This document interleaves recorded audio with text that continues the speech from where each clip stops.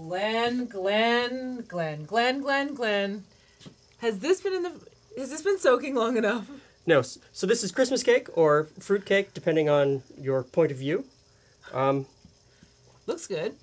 It does. I'm I'm Are you sure? It's, are you sure you've soaked it long enough? I haven't. So a lot of people have a lot of theories about how to make fruitcake. Uh, some start in January for the following Christmas, um, and some people really want it to sit for a long time. I, as soon as it comes out of the oven, I know you're willing to I'm, eat it. I'm ready to go.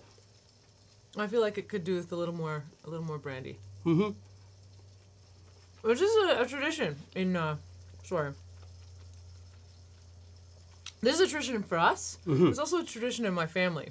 We eat, uh, each of my aunts and uncles make different kinds and then switch and share. I really like this dark one. Um, so I make this at the end of October, beginning of November, and it generally doesn't make it to It never Christmas. makes it. Never makes it to Christmas Day.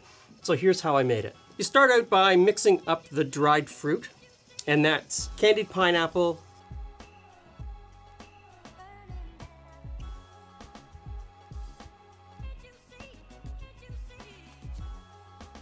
candied cherries,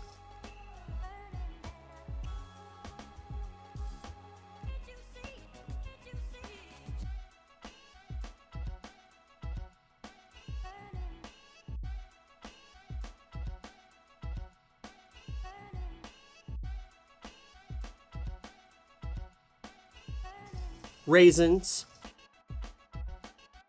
currants, candied peel,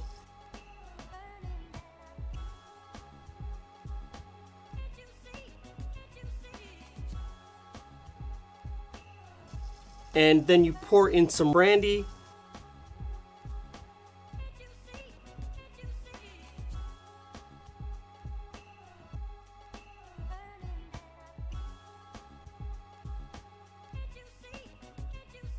And you give that a stir. Some people let that sit for weeks or months. Um, usually I let it sit for a couple of days, or sometimes I'll do this on a Sunday, and then the following Saturday I'll move on to making the cake. And the cake is pretty straightforward. In a big bowl, I mix together flour, baking powder, baking soda, salt, allspice, cloves, cinnamon, and nutmeg.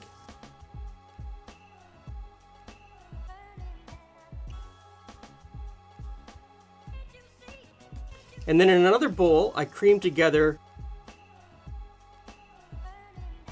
butter and brown sugar.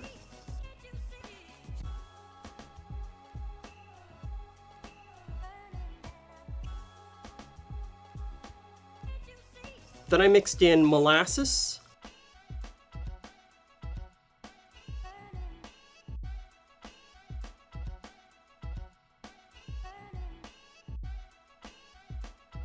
And some of our homemade strawberry jam.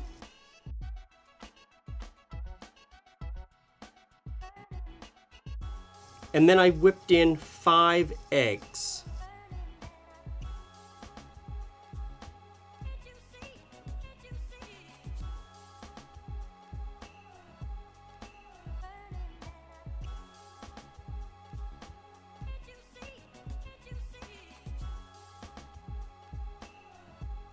And then I stirred in the flour mixture.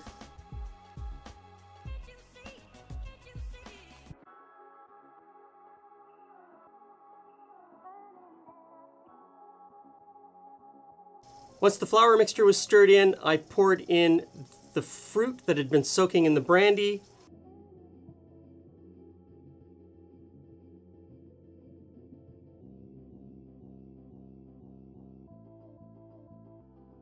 And then some chopped walnuts. Uh, you could use pecans or pecans if you wanted to.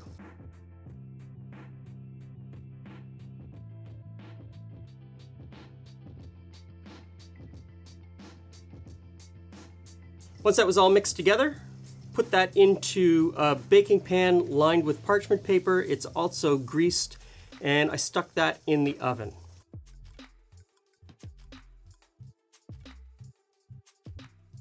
Once it comes out of the oven, you let it cool down until it's fully cooled.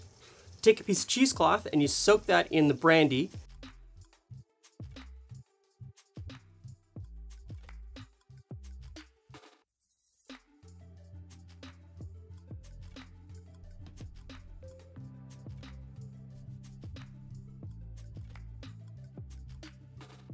Then you wrap the cake in the cheesecloth and then you wrap it in plastic wrap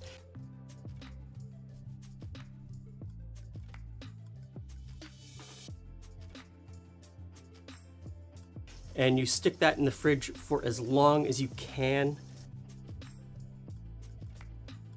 And that's pretty much it. So, um, a couple of times during this period, we'll add a little bit of extra brandy uh, as we wrap it. You, you rewrap it and you rewrap it and you keep it in the fridge. This will, you know, keep in the fridge or the freezer for Oh, years. yeah. It is one of the things about it. Yeah, it'll it'll keep for a very long time um, if you can keep from eating it. And a lot of people have pretty harsh opinions about fruitcake. It's very rich. And where you can eat many, many pieces, I can eat a small piece, and then I'm Yep. done. Yep. I think part of it is that uh, people just take a big piece like it's cake cake, It's and it's and not. it's, overwhelming. It's really my theory. It's really dense and rich, and I'd be um, wrong.